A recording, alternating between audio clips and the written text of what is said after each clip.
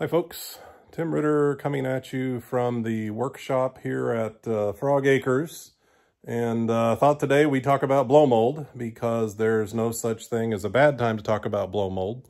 Uh, and uh, this past weekend we uh, got word that there was a uh, swap meet going on down in Ozark, Missouri, uh, down by uh, some of the, the antique shops that are down there. And we heard that there was somebody that had some blow mold. And so we thought we better go down there. And as you might have guessed, we found a few things that we just couldn't live without.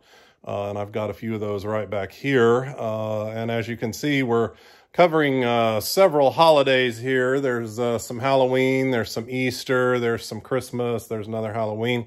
and what's kind of cool about this with these soldiers here, uh, see, I'm going to be putting some of these out uh, here in the not too distant future along with my Uncle Sam's. I've got a couple Uncle Sam's and we've got a big flag and, and we've got a bunch of these soldiers.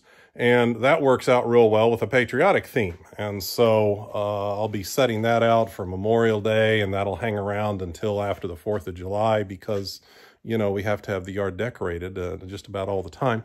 But uh, anyway, and then of course I've got these uh, Dickens carolers back here. Uh, that's what those are referred to as uh, Dickens carolers because they kind of, you know, go back to that uh, that time frame around the time of uh, Christmas Carol and all that kind of stuff. And kind of wanted to grow that set. And then, of course, I've got this uh, jack-o'-lantern here. But one other thing I wanted to show you, this is a little more long-term project that I've got here. This witch that I found at a uh, garage sale.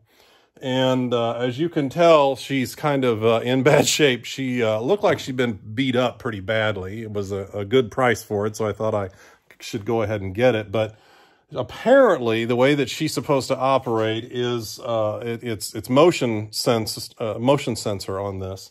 And when it's activated, she rises up to almost full size and starts talking. And then this is a skull that's in a crystal ball and it's supposed to talk. And I think it sings and all that kind of stuff.